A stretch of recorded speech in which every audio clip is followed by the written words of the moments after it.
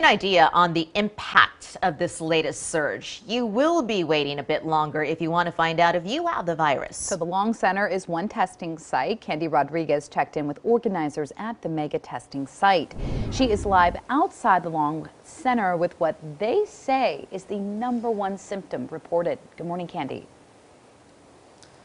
Yeah, Amanda, Sally, good morning. And those top symptoms include a cough, a runny nose, and the problem with that is that those could be associated with other things. But the fact remains that that could also mean COVID 19. And that's why you see Nomi Health here at the Long Center administering those COVID 19 tests. They've been here since last Monday. They were initially only supposed to be here for a couple of days, but that quickly got extended when they saw those long line of cars continue to grow.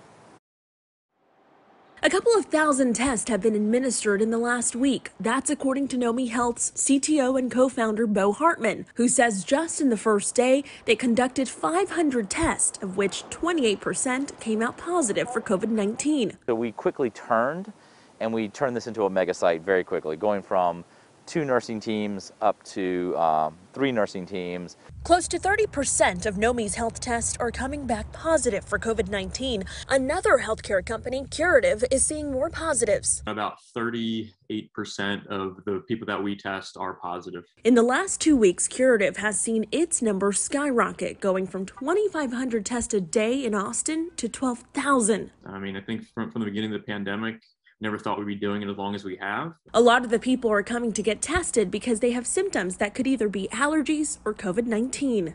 Yeah, a, a, lot of it really is. Uh, you know, I have a cough, uh, I have a runny nose. It's actually really interesting. We're, well, and I was talking to some of our, our clinical staff earlier today. It looks like cedar fever, so people are caught between do I have a cold, do I have cedar fever, do I have COVID? That's why testing is actually so important, especially here in Central Texas when we're all dealing with it, uh, the cedar fever uh, season.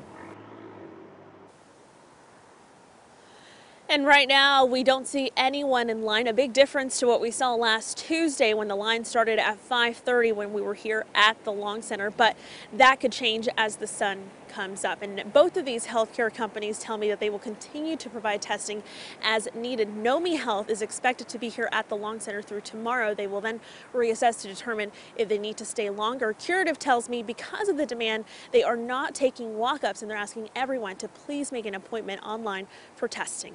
Back to you. Thank you, Candy.